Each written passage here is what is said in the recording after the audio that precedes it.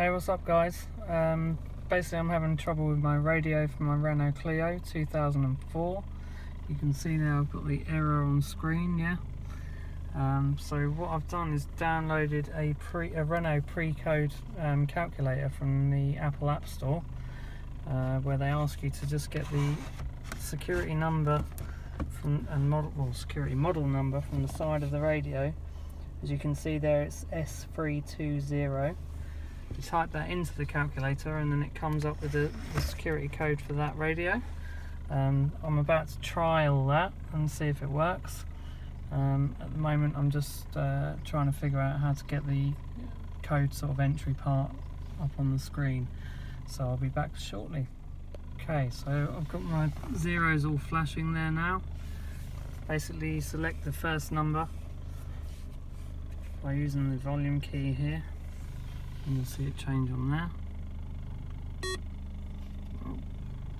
Sorry, it's the arrow key to the right hand side. So you can see, hopefully you can see on the display there. It's not overly clear.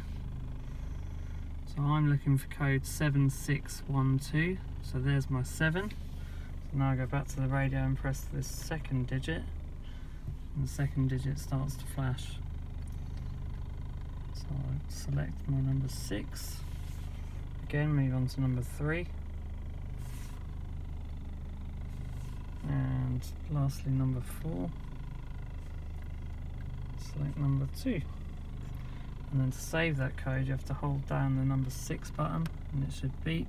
And we're away. Straight away. Brilliant.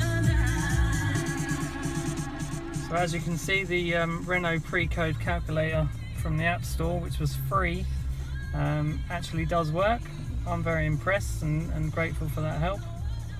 Um, so yeah, I'm going to go ahead and push the radio back into position, into position, and um, yeah, enjoy some Kiss FM on my travels. Take care, everyone.